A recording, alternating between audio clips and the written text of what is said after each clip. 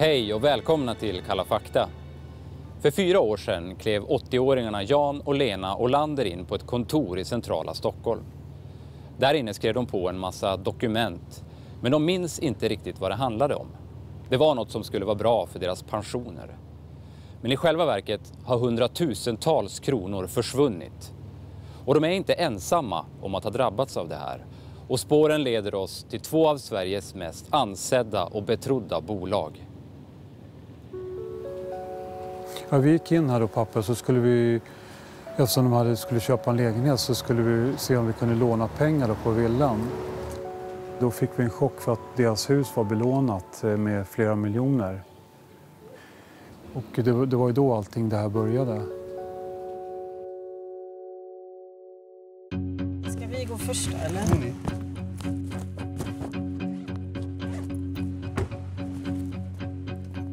Man blir rånad på gatan är det ju ett överfall, men blir man rånad på det här sättet så känner man sig så korkad själv. Jag skulle aldrig kunna ha roligt om jag hade lurat någon på pengar. Jag har jobbat med det här så pass länge och eh, och jag tycker att det är så fantastiskt kul att jobba eh, med den här typen av frågor och hjälpa.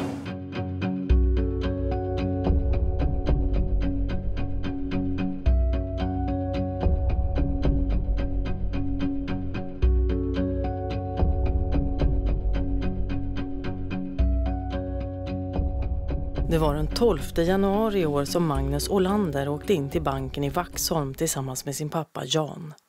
Efter 50 år i villan på Resarö var Jan och hans fru Lena nu tvungna att flytta. Lena hade opererat sina knän och de båda hade problem med minnet. Nu har barnen hittat en lägenhet åt dem och de behöver bara ta ett tillfälligt lån medan de säljer huset. Men bankmannen säger nej.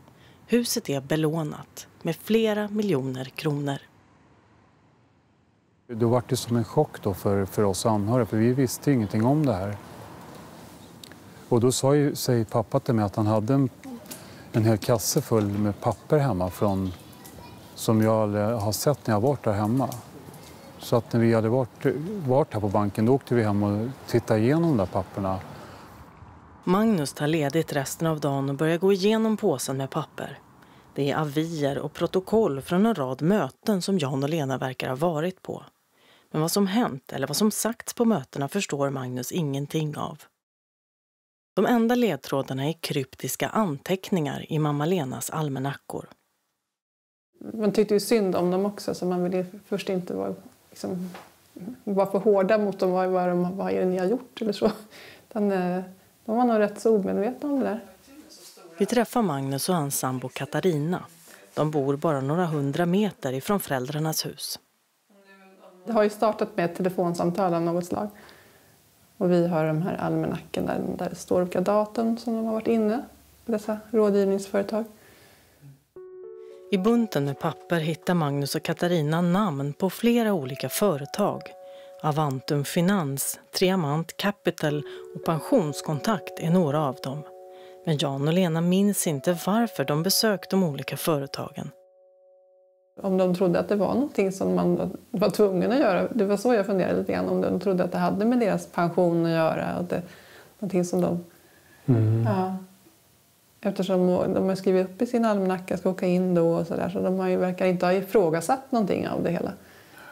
Nej, så de har varit där väldigt många gånger faktiskt. Under, sen 2012 då. 2013, 2014 och 2015. Flera olika rådgivningsföretag, mötesprotokoll från besök som har gjorts under fyra år, kontrakt och en undertecknad fullmakt. Alla spår leder till samma adress. Barnhusgatan 22 i Stockholm.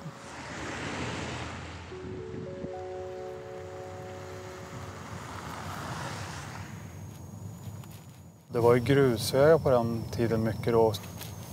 Här vet jag, jag var liten grabb, då var det här bara en skogstomt upp här. Och så har de byggt två hus nu på den tomten. Magnus tar med oss till huset på Resarö där han växte upp. Huset som föräldrarna inte har kunnat sälja och som nu står tomt. kommer vi upp till mamma och pappas väg som går in här då.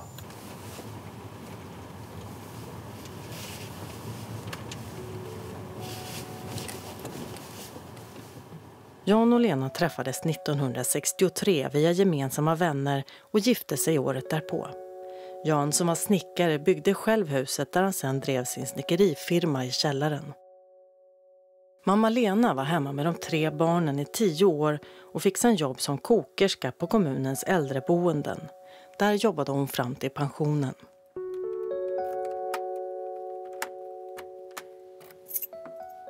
För sex år sedan började Lena förändras.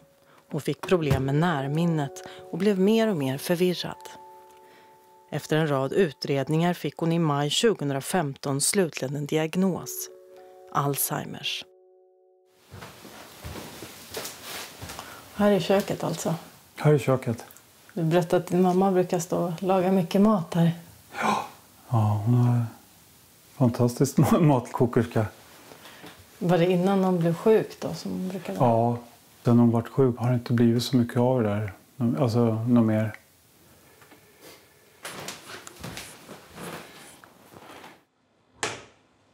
Anteckningarna i mamma Lenas almanackor är en av de få ledtrådar barnen har till vad som hänt och vart föräldrarna varit. Från våren 2012 finns flera noteringar om möten på Barnhusgatan 22. Jan och Lena har varit på företaget Avantum Finans som ägnar sig åt ekonomisk rådgivning till pensionärer. I april samma år förmås Jan och Lena att ta ett lån på 1,2 miljoner kronor med huset som säkerhet. Men makarna Jan och Lena levde sparsamt och hade sparpengar på banken. De behövde inget lån eller några extra pengar. Rådgivarna har dessutom sett till att få fullmakt över de lånade pengarna. De har satts i en fond. Därifrån ska makarna få en utbetalning på 5 000 kronor varje månad. Men efter provisioner, avgifter och räntor kommer bara drygt 2 000 in på makarnas konto. De kan inte förklara exakt liksom, hur det har gått till så. När eh, din pappa berättar om hur då, då förklarar han ju mest hur det kändes att komma dit. Att han kände att han inte passade in. Eh, att alla var väldigt fint klädda bakom den här pampiga disken och fina guldramar. Och de hade väldigt bråttom, som din pappa förklarade och, och få det liksom lite undanstökat. Eh. Vi återvänder till Barnhusgatan 22 i Stockholm. Här ligger alltså alla de företag som makarna Jan och Lena träffat. Alla har de startats av en och samma person. Johan Hellström, som också är den rådgivare som Jan och Lena träffade vid sitt allra första besök på adressen. Johan Hellström ingår i en krets av finansmän som har startat företag tillsammans och sitter i styrelserna i varandras bolag. Tidigare hade Johan Hellström en chefsposition på företaget European Wealth Management Group. Anställda på företaget har berättat om hur äldre människor ringdes upp från ett callcenter och kallades till möten där de övertalades skriva under avtal. De hade listor över äldre pensionärer som skulle kontaktas. 2010 fick bolaget böter av Finansinspektionen för att rådgivarna inte hade rätt kompetens eller utbildning. Strax därefter gick det i konkurs. Bara två månader senare startar Johan Hellström ett nytt bolag, Avantum Finans, det vill säga det första företag som Jan och Lena träffade.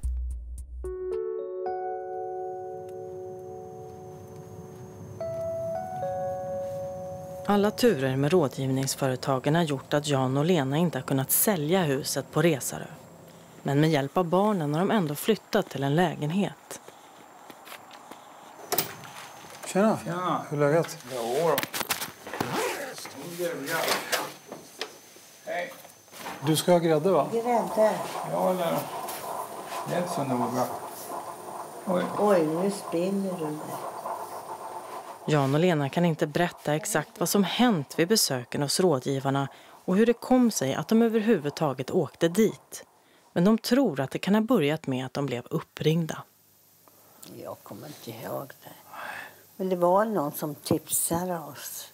Som? tipsade oss På vad då? att vi skulle gå dit. Från första början? Ja, Ja. Men vem det var, det, det känner jag inte till bara.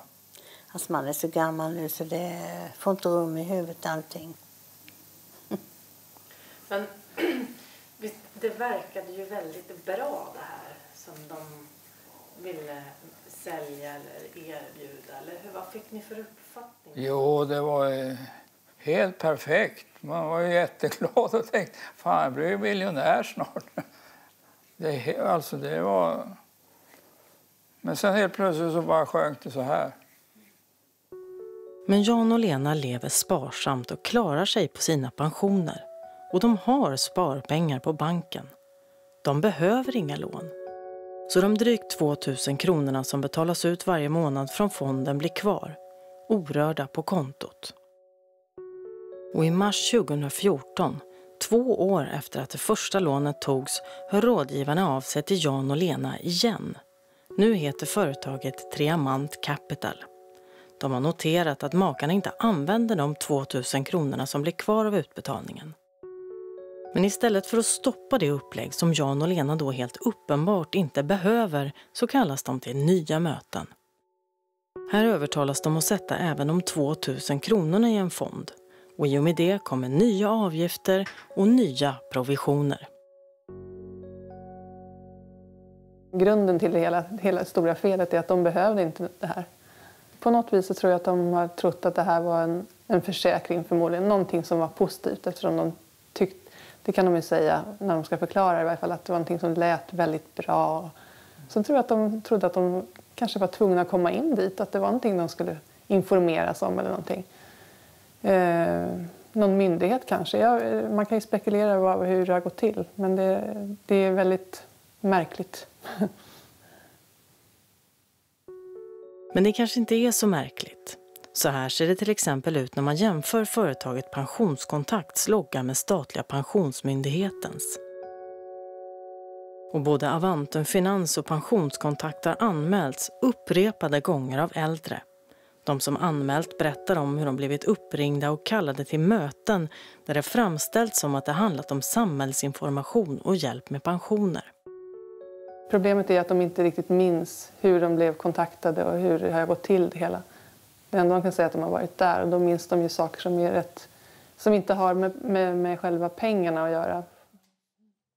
Även för någon som är insatt i ekonomiska frågor så är det svårt att förstå rådgivningsprotokollen. Det är tjocka buntar med papper med mängder av olika uppgifter. Men Jan och Lena trodde uppenbarligen att de fick hjälp. De var tacksamma mot rådgivarna. Lena virkade grytlappar som hon tog med till stan och gav dem. Medan besöken på Barnhusgatan blir fler blir Lena allt sjukare i Alzheimers. När barnen inser att hon är så pass dålig att hon och Jan inte kan bo kvar i huset på Resarö så tar de dit en mäklare. Han värderar villan till drygt 4 miljoner kronor. Men rådgivarna vill att Jan och Lena ska låna ännu mer pengar på huset. För att det ska gå så måste det vara värt mer. Och under våren 2015 gör Johan Hellström själv en värdering av huset. 8 miljoner påstår han att det är värt. Nästan dubbelt så mycket som fastighetsmäklaren värderat det till. Nu finns det plötsligt utrymme att låna mer. Så i maj 2015 övertalas Jan och Lena att skriva på avtal om ett lån till. Denna gång på ett ännu högre belopp. 1,6 miljoner kronor. Nu har de alltså lån på sammanlagt 2,8 miljoner. Och när de sista avtalen är påskrivna och rådgivarna säkrat sina provisioner känner de att stämningen plötsligt blir en annan. Han hade ju någon fråga, och, men när allt var påskrivet då, då ville de inte svara på, på någon fråga mer. Då tyckte de bara gå härifrån, ut härifrån. Så han, Janne trodde själv att han skulle bli utkastad. Eh, och han, jag tror att han kände sig, han, han kände sig väldigt, väldigt arg. Och, ja, så det, han kände nästan att det skulle bli handgripligheter, i varje fall så som Janne berättade. Men det kanske är mer hur han kände sig inombords. Så att det, han, han kände intuitivt att det var någonting fel men han förstod inte och han fick inte svar på sina frågor. Mm. Johan Hellström och de andra rådgivarna har kallat Jan och Lena till möten och fått dem att skriva på lånepapprena. Men det är inte de som är arkitekterna bakom det här upplägget. I själva verket är det en produkt från två stora etablerade företag. Ett statligt och ett med rötter i arbetarrörelsen.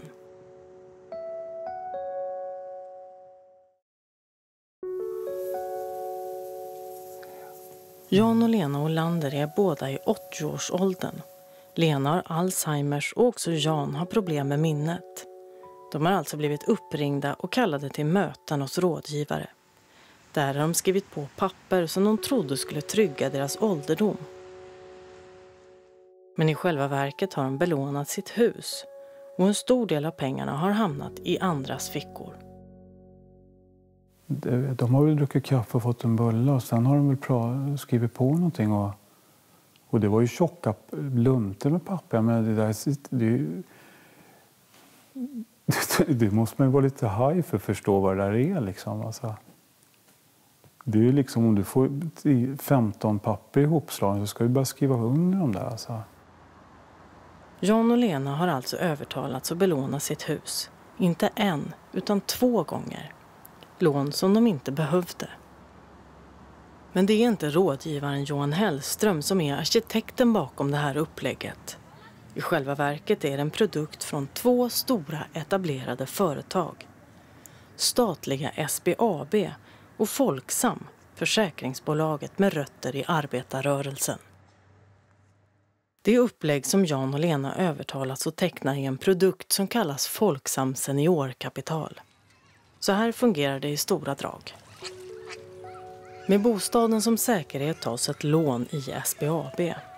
Pengarna placeras sedan i en fond hos Folksam för att ge avkastning. Därifrån görs en utbetalning varje månad. Men stora delar av utbetalningarna går till avgifter och provisioner. Dessutom kan fonderna minska i värde och man kan förlora pengar. Rådgivarna ska upplysa om riskerna och de är skyldiga att avråda de som inte behöver extra pengar. Så här står det i reglerna för de rådgivare som säljer Folksams produkter. När du säljer försäkringar eller andra produkter ska du ta reda på tillräckligt mycket om kunden för att kunna lämna korrekt information. Du får inte övertala en kund att teckna en försäkring eller köpa någon annan tjänst som kunden inte behöver.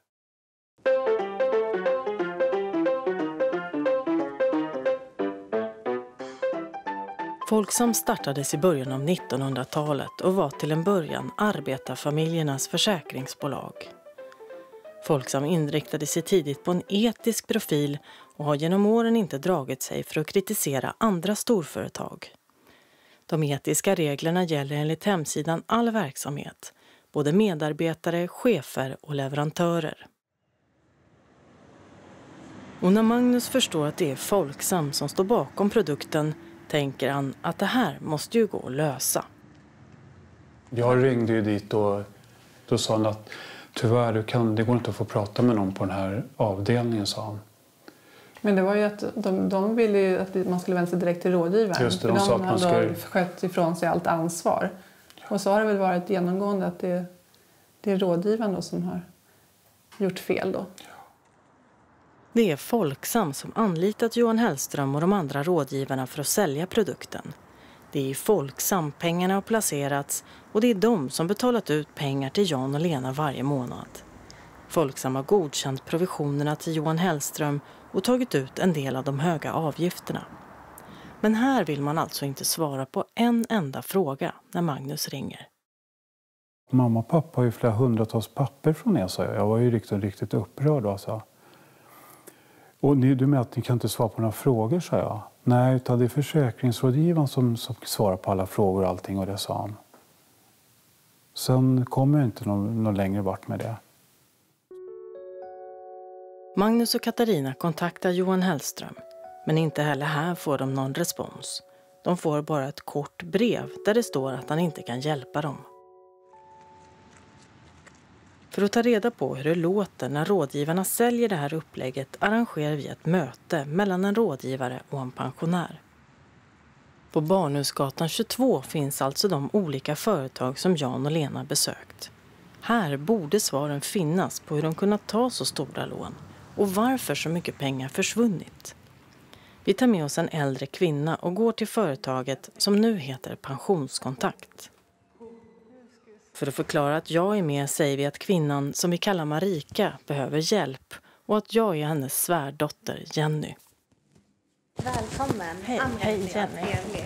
Då ska vi in här. Ja, tack så mycket. Vet ni hur det fungerar med seniorlån? Nej. Låt säga att det här är din bostad då Marika. Den kan vara värd 3 miljoner, tar vi som ett exempel. Och ett seniorlån, mm, en miljon då, tar vi där. Och det fungerar på det här sättet att man belånar sin bostad och så får man den här summan utbetald en gång i månaden i tio år. Okej. Men efter att ha förklarat hur det fungerar avråder faktiskt rådgivaren från det här upplägget. Jag tycker inte du ska hålla på med konstigheter egentligen. Utan, men du ser, det är många steg och så här. Med handen på hjärtat på dagens marknad så hade jag inte rekommenderat det just på grund av att marknaden ser ut som den gör. Men sen får vi ändå namnet på en annan rådgivare som jobbar specifikt med sådana här lösningar. Ja, men vi får göra så helt enkelt att vi tar hans nummer och så hör vi av oss till honom då. Fråga, jag Så- Mm. följer med er. Har du Johans eh, nummer? Ja. ja. Johan är alltså Johan Hellström, den rådgivare som Jan och Lena träffat. Vi ringer det nummer vi får på pensionskontakt. Jag har dina kontaktuppgifter, Jenny. Så att jag kommer ringa dig och så sätter vi upp en tid tillsammans med dina svärföräldrar. Så kan vi, kan vi kika på de här bitarna. Ja, men det låter ju toppen. Ja, Då bra. vi.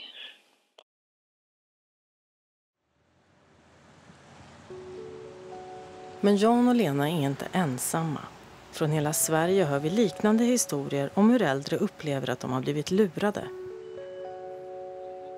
I Linköping träffar vi Monica Sand.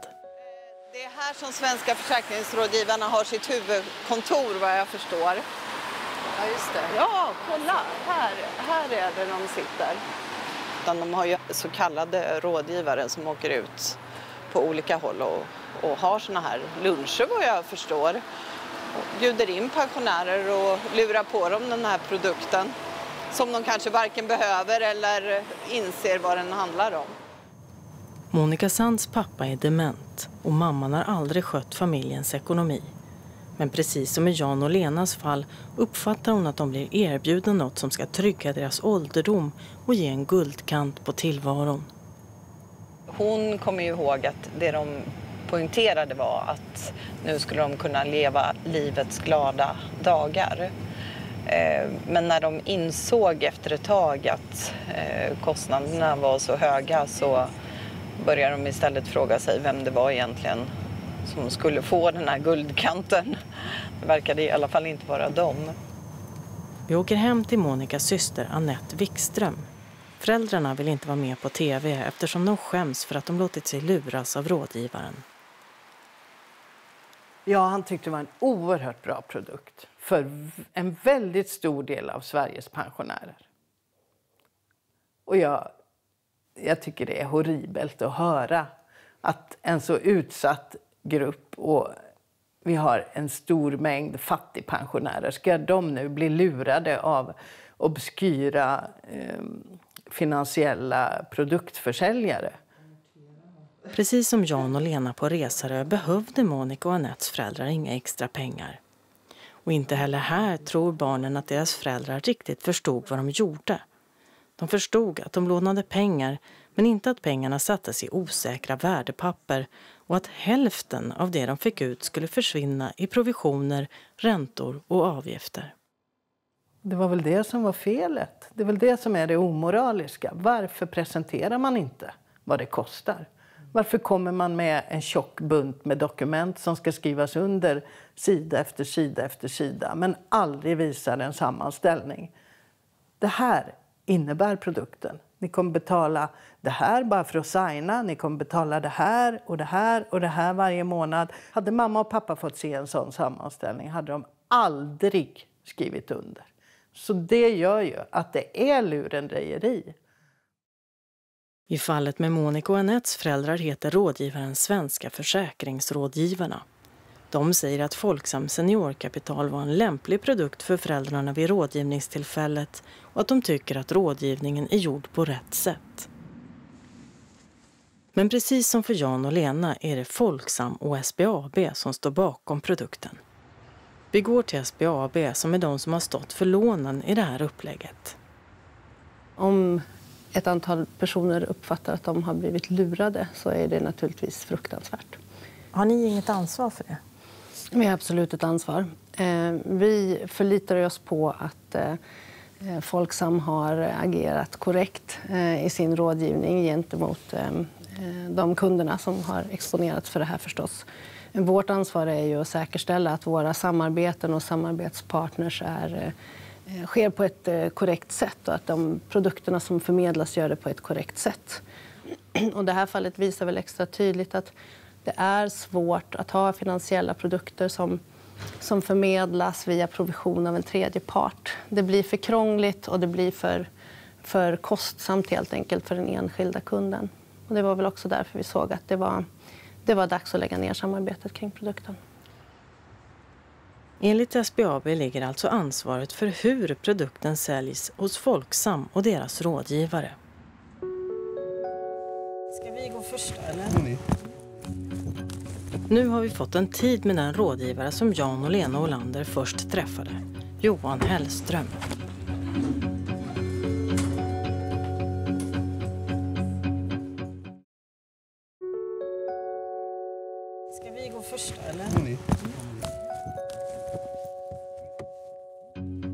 Nu har vi fått en tid med den rådgivare som Jan och Lena Olander först träffade, Johan Hellström. Vi möter honom på ett café i norra Stockholm. Vi har flera dolda kameror utplacerade i lokalen. Vi vill se hur det går till när han ger råd till äldre. Ja. Hej, Johan Hellström. Hej. Hej, Johan Hellström. Ja, Trevligt att träffas. Och nu försätter jag med lite Ja, kaffe och sådär. Det han har fått reda på innan är att vår pensionär Marika behöver dryga ut sin pension och att hon bor tillsammans med sin sjuke man i en lägenhet i Stockholm. Johan Hellström var den som värderade Jan och Lenas hus till nästan dubbelt så mycket som en fastighetsmäklare värderade det till. Och nu gör han en snabb värdering av Marikas lägenhet och föreslår samma upplägg som för Jan och Lena. Och han uppmanar henne att låna så mycket som möjligt. Jag, jag ser inget hinder varför ni inte skulle söka på maxbeloppet. För. Nej. Men finns det någon, finns det någon nackdelar att söka så mycket lån man kan? Eller? Nej, men så länge man är under 50 procent av, marknads, av marknadsvärdet. Okej, så då ska Så man... marknadsvärdet är ju nästan 8 miljoner. Och det är ju 4 miljoner. Jag Finns ser det- egentligen inget hinder att ni skulle kunna få ut 20 000 kronor. Jaha, det låter jättebra. Ja, men det- men var, varför ska man låna så Var- mycket man kan då? Varför inte? Därför att eh, nummer ett, eh, det är ju eh, det är låga räntor. Det är billigt med pengar. Men för att få lånet uppmanar Johan Hellström Marika och hennes man att ljuga. Han säger att bankerna inte längre tillåter den här typen av upplägg. Istället kan Marika till exempel säga att hon ska renovera köket. Okej, men det kan inte vara så att Marika och Roger råkar illa ut om de har liksom Garanterat för banken? Eller? Nej, Garanterat. Så det får man göra? Eller? Man får göra det. Jag menar, det är ju era pengar och banken. Alltså i slutändan så kommer det här gå till konsumtion. Eller hur? Så det är bara att säga att det går. Ja, vad ska du göra? Konsumtion. Jaha, varför ska ni konsumera så här? Ja, men ja, egentligen inte ni med att göra, men det, jag tänkte resa lite. Jag tänkte göra. Alltså, det, det stämmer ju. Eller hur? Ja. Men, men vad säger Folksam då om det är att man har lånat pengar? Ja, men de tycker ju det är jättebra. De, har ju inte, de tar ju inte ansvar för vad deras kunder gör. Eller hur? Men du samarbetar med Folksam? Eller? Jag samarbetar med Folksam med väldigt många olika bolag. Men, men vad kostar det här då? Jag får ersättning ifrån försäkringsbolaget, ifrån fondbolaget. Men det betalar inte Marika och Roger? Eller? Nej, utan det ingår i helhetspaketet. Eh, Men i och med att i försäkringen, i investeringssparkonto och i alla sparformer så finns det ju avgifter. I de här avgifterna så får jag en del som en provision för att jag ska upprätthålla och, och initiera, upprätthålla och underhålla eh, kontakten med, med kunden. Så jag får ett litet kundvårdsbidrag kan man säga. Så det är så det funkar. Kundvårdsbidraget, som Johan Hellström kallar det, är i Jan och Lenas fall minst 200 000 kronor, bara i fast provision. Dessutom får han en löpande provision som ska fortsätta betalas ut under de tio år som makarna är bundna till upplägget. De ska fortsätta betala pengar till Johan Hellström och Folksam tills de är nästan 90 år gamla. Men några klagomål säger sig Johan Hellström aldrig ha fått. Men vad säger de som har haft det här, är de nöjda eller? Jag är inte någon missnöjd kund. Alltså jag har eh, jobbat med det här så pass länge och eh, jag tycker att det är så fantastiskt kul att jobba eh, med den här typen av frågor och hjälpa. Bra! Ja, fint. Då hörs vi då helt Ja. enkelt. Ja, Toppen! jättebra. Om man blir rånad på gatan är det ju ett överfall, men blir man rånad på det här sättet så känner man sig så korkad själv. Man känner sig så lurad och förnedrad. Och man känner sig dum efteråt, att man var så dum och gå på det hela. Även Monica och Anettes föräldrar kände sig trygga av att det var Folksam som stod för produkten. Ja, men vartenda papper, varenda dokument är uh, Folksams logga på. Det gjorde ju att mamma och pappa kände sig trygga. Men vi kan inte bli lurade av vårt gamla trygga försäkringsbolag. Sen säljstarten 2005 har 3 000 personer tecknat Folksam seniorkapital. Och förlusterna för flera av dem har varit stora. Monica och Anettes föräldrar har hittills förlorat 150 000 kronor. Jan och Lena Olander har förlorat 300 000. I juni 2015 lägger Folksam officiellt ner produkten Seniorkapital. Men när vi ringer runt till några av de rådgivare som Folksam anlitar blir vi erbjudna samma lösning som de säger sig ha slutat med. För att höra hur det presenteras träffar vi ytterligare en rådgivare med dold kamera. Även han har ett kontor i centrala Stockholm. Rådgivaren har tidigare utretts för ekonomisk brottslighet. Han fälldes aldrig för något brott men domstolen konstaterade att han systematiskt hade brutit mot reglerna på banken där han jobbade. Nu säljer han Folksams produkter. Vi frågar honom hur Folksam ser på att han säljer det upplägg som de säger sig ha slutat med. De har ju inga, inga problem med att de vet att vi jobbar med det här. Vi har en kontaktperson på Folksam. Det, det som är skönt att jobba med dem det är ju att menar, de som vi presenterar det här för de har ju ändå någon, någon form av relation eller kanske något förtroende för Folksam. För skulle vi säga till kunderna sätt in det här hos oss, ja, Mm. det, det skulle ju liksom inte funka. Mm. Och skulle ni vilja liksom försäkra er om att sånt stämmer, men vi har en kontaktperson på Folksam som Mm. man i så fall kan ringa och Mm. prata med om, Mm. om man liksom inte känner att Vi ringer den person vi får numret till. Sven Sperle, försäljningschef och ansvarig för kontakten med rådgivarna. Vad kostar det här med kapitalförsäkring? Så då? Och det kostar lite grann, men det är inte jättedyrt på något sätt.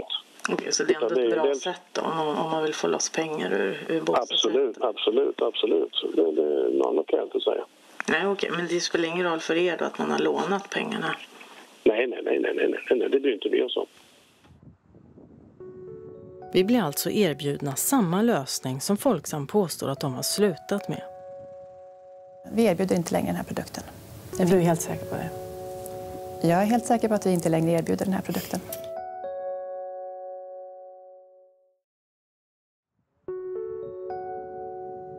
I juni 2015 lägger Folksam officiellt ner sin produkt Seniorkapital. Men när vi ringer runt till några av deras rådgivare så blir vi erbjudna samma produkt som de säger sig ha slutat med. Ja, vi har slutat med den produkten för att vi, har, vi såg att det var saker i den här som vi behövde förändra. Eh, och istället för att göra de förändringarna, eh, utvecklingsarbetena, så fokuserar vi på det vi är bäst på. Så den här produkten finns inte längre? Man kan inte längre, vi erbjuder inte längre den här produkten. Är du helt säker på det? Jag är helt säker på att vi inte längre erbjuder den här produkten. Vi visar inspelningen från en av de rådgivare som vi träffat. Jag är en kontaktperson på Folksam. Det, det som är skönt att jobba med dem, det är ju att menar, de som vi presenterar det här för, de har ju ändå någon, någon form av relation eller kanske något förtroende för Folksam. För skulle vi se... ja, vi känner inte till att man, att man, gör, att man gör paketeringar ut det här, det här, eh, på det här viset. Eh, för Folksam har ingen paketering som vi står för. Då ska vi lyssna på ett samtal när jag ringer er försäljningschef mm. och frågar hur han ser på att jag blir erbjuden det här som ett paket. Mm. Vad kostar det här med kapitalförsäkring, Sara? Det kostar lite grann, men det är inte jättedyrt på något sätt. Okej, så det är ändå ett bra det, sätt då, om, om, man vill få loss pengar ur, ur Absolut, absolut, absolut. Det, det, något annat kan jag inte säga. Det finns inget sånt paket och har vi, har vi kommit ut med sån information så måste vi dementera den för vi har inget sånt kombinerat erbjudande. Men hur förklarar du då att det fortfarande går att köpa och att er för, egen försäljningschef säger att det här är bra? När vi tog fram det här kombinerade erbjudandet som fanns då från 2010 så var det för att vi såg ett behov och ett behov hos våra kunder. Behovet där var... Jo, men nu frågar jag inte varför ni tog fram det utan jag frågar hur förklarar du att det fortfarande säljs så att er egen försäljningschef säger att det här är ett bra paket? Har en rådgivare paketerat eh, lösningar kring det här så är det på rådgivarens eget, eh, eget uppdrag. Men, men det är ju era rådgivare. Vi blev erbjudna det här paketet för en månad sedan. Vi ringde hit, vi pratade med en försäljningschef. Vi frågade är det här ett bra erbjudande. Ja, sa han. Hur kan du säga att det här inte finns kvar? Eh, vi har inget paketerat erbjudande. Är, eh, man kan vända sig till oss för att kunna få en försäkring. Man kan inte vända till oss, sig till oss eh, sedan juni 2015 för att få den här paketerade lösningen, för den finns inte kvar. Folksam marknadsför alltså inte längre produkten Seniorkapital. Men de ser mellan fingrarna med att deras rådgivare säljer samma lösning och den ansvarige inom Folksam uppmuntrar till och med till det. Vi tar upp fallet med Jan och Lena som förlorat 300 000 kronor och som Folksam dessutom krävde på 80 000 bara för att lösa dem från fonderna. Jag tycker att det är beklagligt för de här kunderna. Det är verkligen beklagligt för de här kunderna att man har råkat så illa ut. Och det är ett viktigt att vi tar vår del av ansvaret. Det är väldigt, väldigt viktigt. Så då betalar ni tillbaka de 80 000? Vi måste se till att, vi, att, det här blir, att det här går rätt till. Allting då som har med rådgivningen att göra och den, de brister eller, eller, eventuellt felaktigheter som har skett under en rådgivning, då är det väldigt viktigt att det är rådgivaren som jo, står men nu för har de du, ansvaret. Du säger samma sak hela tiden. Det här är ju bara ett inövat svar. Men det är ju er produkt. Det är ni som har anlitat Johan Hellström. Det är ni som har tjänat pengar på Jan och Lena. Det är vår produkt och det är vårt erbjudande. Eh, tittar man då på hur den här lösningen är gjord så är den gjord så att den ska löpa under en väldigt lång tid. Avslutar man däremot under tiden, under tiden under försäkringstiden så är det förenat med kostnader. Och det gör då att man kan, att man kan eh, stå med kostnader. Det kan bli en sån här tråkig situation lik den som det här paret har hamnat i. Varför samarbetar ni fortfarande med den här rådgivaren? Information om vad som har hänt i olika fall och vilken information som då kommer oss till del, det är viktigt att vi agerar utifrån det. Det är väldigt många, många förmedlare som är väldigt bra och som ger våra kunder dagligen väldigt goda råd kring sitt sparande. Ni har säkert väldigt många bra rådgivare, men av de två som vi har granskat så har den ena anmälts upprepade gånger för att ha låtsats vara från en myndighet och lurat av äldre deras sparpengar. Den andra har utretts för ekobrott och fått sluta på den bank som han har jobbat med. Vad har ni för ansvar för det? Ja, det är ju jätteviktigt. Är det sådana saker, är det saker som är, som är allvarliga kring en, kring en rådgivare så är det klart att då beklagar vi att, att, eh, att kunder möts av den och känner sig lurade av, sån, av, eh, av den typen av verksamhet. Det är ingenting som vi står bakom. Vi visar upp intervjun med Folksam för Jan och Lenas son Magnus och hans sambo Katarina. Hon, eh, hon, hon har inövade svar. Ja, nej, men då, då har man ju utnyttjar situationerna och använt sig av rådgivare som inte följer rekommendationerna hur det ska gå till. Och sen när de då har gjort fel då, då säger, skyller Folksam på rådgivarna. Klart att Folksam har ett stort ansvar vilka rådgivare de anlitar. Vi ringer upp Jan och Lenas rådgivare Johan Hellström. Ja, det är Johan Hellström. Hej, Kersti Varsellet. Jag ringer från Kalla fakta TV4. Jaha, hej. Hej, det är så att vi... Vi berättar att vi granskat honom och hans företag och att vi har filmat honom med dold kamera. Och han tycker inte att han lurat någon eller att det var fel att ta över 200 000 i provision från Jan och Lena. Ja, det är ju så som eh, de här produkterna har varit konstruerade och det är så som ersättningen har, har varit. Och det här är ingenting som vi gör utan att vi inte, utan att vi inte tjänar någonting på det. Så, att... så kan du tänka dig att träffa oss och ge oss en intervju där du kan få bemöta den här kritiken som vi kommer att berätta om i programmet? Ja, det, det, det, det är inte aktuellt. Senare får vi ett mejl från Johan Hellström där han kort svarar på våra frågor. Vid de tillfällen jag träffade Jan och Lena Olander, vilket var för flera år sedan, såg jag inte några tecken på att de led av demens. Ifall jag hade märkt att de var dementa och inte förstod vad produkten innebar så hade jag självklart inte försökt att sälja något till dem. Produkten var i sig bra, men en placering innebär alltid ett visst mått av risktagande. Det är väldigt beklagligt om paret Olander har förlorat några pengar. Jan och Lena Olander har kvar sin skuld på 2,8 miljoner. De har förlorat en stor del av sitt livs besparingar. Och pappa tycker att det är jättejobbigt. Alltså. Om man nu skäms lite att det hände. Och... Och din mamma kan ju bara inte förstå hur någon kan ha roligt för de här pengarna som de har tjänat på dem. Hur kan man göra så mot någon?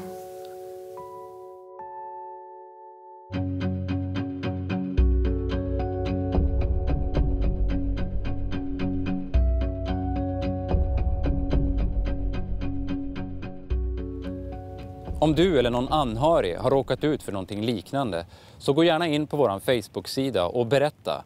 Och där kan du även ställa frågor till oss på redaktionen eller skicka meddelanden till oss. Kalla fakta är tillbaka den 10 januari och då handlar det om övergreppen på barn som alla avskyr men som ingen vill höra talas om. Om vi tittar på Sverige så kan det då stå SE Kindergarten. Vad betyder det? Ja, det ska i sådana fall vara en svensk förskola. Och de filerna delas av användare över hela världen. Polisen har inte resurser att gå vidare.